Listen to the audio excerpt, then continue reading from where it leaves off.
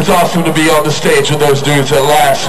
This next song is for Skolnick and Chuck Billy and all the other dudes in Testament. It's an older one. This one's called Ruin.